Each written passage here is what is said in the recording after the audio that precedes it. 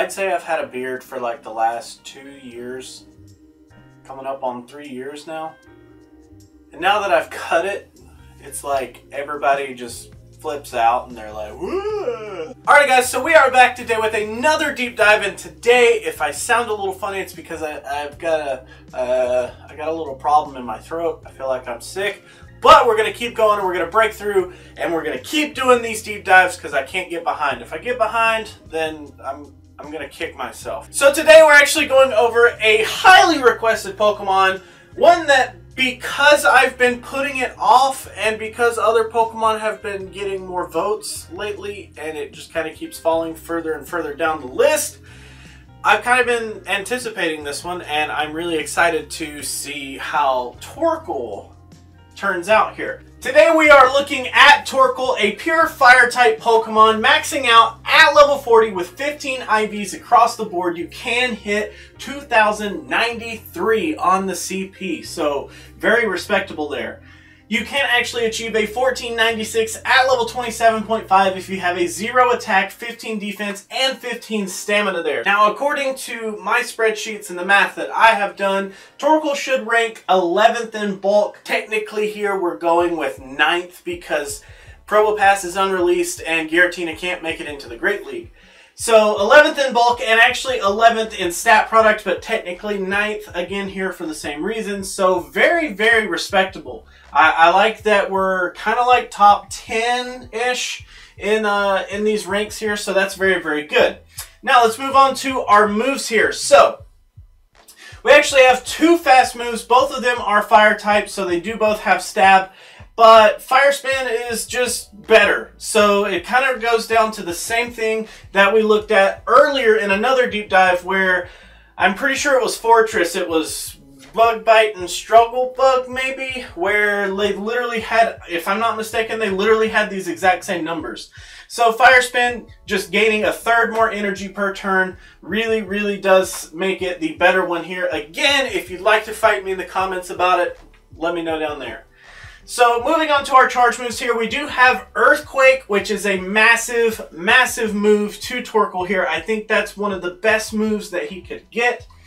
Earthquake costing 65 for 110 damage with a 1.85 damage per energy ratio. Great. We then have Overheat, which is our fire type charge move, costing 80 energy for 150 damage at 1.88 ratio there.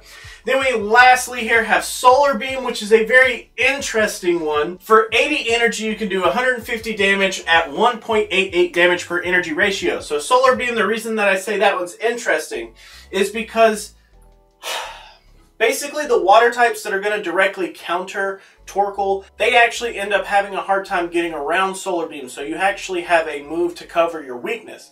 And then also you have Earthquake here, which actually helps cover Fire types, so you can actually win Fire type matches as well. So pretty interesting move set. Now, let's actually talk a little bit about our moves here. So this is the first deep dive that I've ever delved into more than one move set that I think you guys should know about. So usually I go with whatever wins the most percentage matches. And that's just because generally, for me personally, I want to have the best Pokemon widespread win percentage that I can. I want to be able to beat as much as possible and I'll try to basically have Pokemon that cover all of the areas, but I want the biggest Venn diagram, if you can imagine that picture. I want the biggest Venn diagram in the league possible, just covering multiple Pokemon at some points, but also having specific Pokemon for specific cases. Except this time with Torkoal, I was looking at these three moves and I was just like, oh man, it's so interesting because Earthquake covers fire, Overheat covers ice, and Solar Beam covers water. So we actually have this like little package inside of Torkoal that actually makes him extremely versatile. So here, here's what I've got. Personally, if I was going to run a Torkoal, I would personally run Fire Spin, Earthquake, and Overheat. It does give me the most win percentage possible out of all of the Kingdom Cup. But if you were to switch out and use Solar Beam instead of Overheat, you only end up dropping 5.1% of those matchups, so you don't actually lose too many more. You end up trading off your use case a little bit. Now, of course, you don't hit every Pokemon possible based on your moves, but you have a, a slightly different use case there. So, let's actually go over these shield numbers really fast, and I'll, I'll go over both uh, both move sets for you guys. So first move set that we're going to look at is the preferred move set for me. Fire Spin, Earthquake, and Overheat. So zero versus zero shields. In the scenario where we are the closing Pokemon and we just have no shields remaining, neither myself nor my opponent have any shields left. We actually win 69.2% of those matchups. Now, whenever I have two shields and my opponent has two shields, so running that number to figure out which Pokemon just end up flat out beating us, no matter how many shields we have, we actually end up winning 97.4% of those matchups. The only two Pokemon that we end up losing to in that scenario is Altaria and Kingdra. And Kingdra will be an interesting Pokemon that we'll talk about uh, kind of one of the hard counters for Torkoal here. Moving on, we actually then take a look at if I had zero shields and my opponent has two shields, which Pokemon can we just flat out beat no matter how many shields they have? This is kind of interesting. So we actually end up winning 15.4% of those matches, and a lot of the ones that we end up winning against are ice, like Abomasnow and Alolan Sandslash.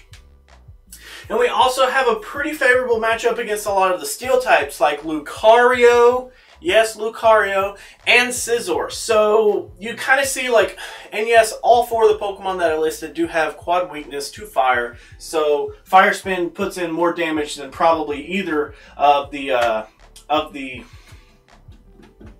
what are these called? Fire Spin definitely does put in more work rather than these charge moves there, but it still stands that you win 15.4% of those matchups. Lastly here, in the scenario where I am the leadoff Pokemon, two shields versus two shields from my opponent, we actually end up winning 43.6%. So what does all that tell you? Well, it tells me that Torkoal is definitely better as a closer. He he kind of suffers whenever the other Pokemon on the opposite side of the arena has shields. So he's kind of a better closer, and considering how high cost all of these moves are, I definitely think he fits more into a heavy hitter role than a shield buster. He's not fast, he doesn't really get to these charge moves as quickly as other Pokemon do, so he doesn't have as much shield pressure, so that means that you really want to be closing with him and pushing out just tons of charge move damage if possible. Now let's actually take a quick look at Fire Spin Earthquake, and Solar Beam. So here the big difference is that in a 0 versus 0 shield situation, we go down to 64.1% rather than our 69.2. In our 2 shields versus 0 shields, we actually go down to a 96.2. We still end up losing to Altaria, and we still end up losing to Kingdra, and now we actually have to tie with Dragonite. But you have to remember, Solar Beam can definitely help you out in those matchups because because the energy here is the same. If you're going up against a Pokemon that's going to be weak to Solar Beam and not Overheat, they perform very similarly. So in those matchups where you're going up against certain Pokemon like Sealeo or Lapras or anything like that, and maybe you switch into Torkoal and you need to just fire off a Solar Beam, that's where that toolkit really begins to shine. So you can kind of build your Torkoal to either take care of more of the ice and the steel types. But You can also start to take care of other Pokemon that are going to be weak to grass that start appearing in the cup. So it kind of really just depends on what your team needs. If it needs a lot more grass coverage, then Solar Beam would definitely be a better option. If it needs more fire coverage, then definitely I would go with Overheat. Both both movesets performing so similarly, I think it really just comes down to which one you need more. But of course, as you saw, both movesets do end up losing to Altaria and Kingdra. Hardcore doesn't change those outcomes at all. So keep that in mind that you need something, if you're going to run Torkoal, you need something to answer Altaria, and you need an answer to Kingdra as well. Moving on to our matchups here. So in all of the deep dives, I end up taking our subject Pokemon, and I throw them up against the top 10 bulkiest Pokemon in the cup. Now, Torkoal kept showing up in a lot of the deep dives that we had, but he ends up kind of in a very even situation. So let, us go through these. So Bastiodon, Probopass, Altaria, and Lapras all end up beating Torkoal. But Torkoal actually wins against Registeel, Regice, Dewgong, and Forretress. He actually can tie against Steelix and Skarmory. So while he doesn't necessarily beat most of the top 10, he doesn't necessarily lose to the most of the top 10, he pretty much goes even amongst all of the top 10, which is pretty interesting. I think that Torkoal actually has a pretty good place in the meta if you use him kind of according to his charge moves here. Next, let's actually move on to our counters. Now, in terms of what should you be targeting whenever you put a Torkoal on your team, what should what role should you really be filling with Torkoal, and what Pokemon are just really going to be good against Torkoal if you need to be preparing for one. So the Pokemon that end up countering Torkoal really hard are things that are water type.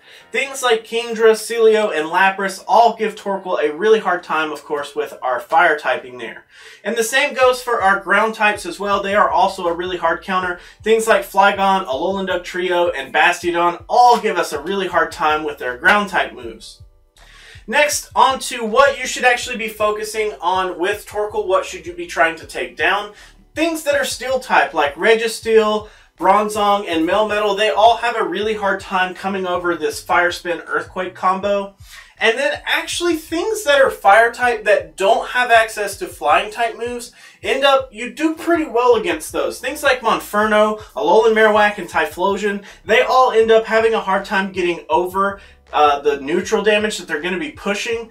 And then they actually end up kind of falling to that earthquake there. So fire types are, are pretty okay to actually use your Torkoal going up against. Now in terms of pros and cons for Torkoal here, let's actually go over our cons first. So our first con is that we do end up losing to both Bastiodon and Lapras. So being that we lose to two out of the three kings is kind of crappy.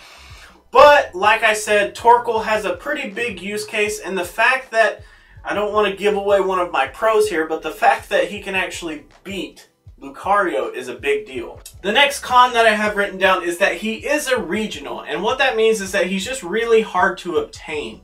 So it ends up making Torkoal's appearance in the meta pretty slim and if you don't have access to one and you really want to use one it's it's probably going to cost you a little bit of effort to actually get one whether that's Stardust whether that's trading off something that's important to you like a shiny or anything like that or just simply flying to the region and grabbing one yourself. I mean, it's kind of a, a hard Pokemon to obtain, especially here in the States. I've I've never seen anyone that actually is willing to trade one. Last thing is that Torkoal is pretty slow. Being that we have 3.33 energy per turn, and our quickest charge move is 65 energy, that ends up meaning that we should be hitting that in what, less than 10 seconds? Just under 10 seconds if my sick brain isn't completely too sick to do math. So he's pretty slow. He doesn't have a whole lot of shield busting potential. He's definitely a heavy hitter,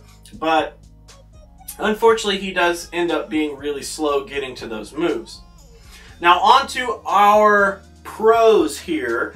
Uh, of course, I've already mentioned that we do beat Lucario, so that's actually a pretty big deal because Lucario is one of the obviously he's one of the three kings and we need to be able to beat him to really stand out in the meta. So, you know, Torkoal being able to handle Lucario is pretty nice. I, Lucario has a, a big stronghold on the meta and anything that can take out one of the three kings has definitely got a lot going for it.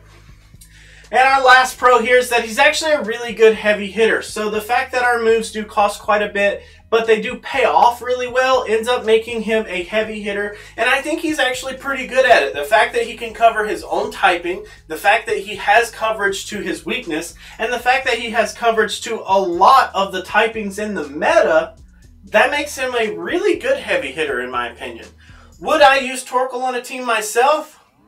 If I could get one, I definitely want to do a little bit of testing and toolboxing to kind of figure out what role I would put him on as a team, kind of depending on what my other team members moves are, I guess I would need to really figure out which move set to use. And depending on which move set I go with, he could definitely be a good contender on my team. But that's just my opinion. I'd like to know your opinion on him down below. So, that is actually it for today, guys. Uh, like I said, I'm, I'm sick. I'm very sorry if there's more than the usual like errors in this video. But thank you so much for hanging out. Thank you for sticking around with me. If you like to like videos, make sure you do that. If you don't, you can be that guy. Otherwise, let me know what you have to say down in those comments below. And until our next deep dive, I will catch you then.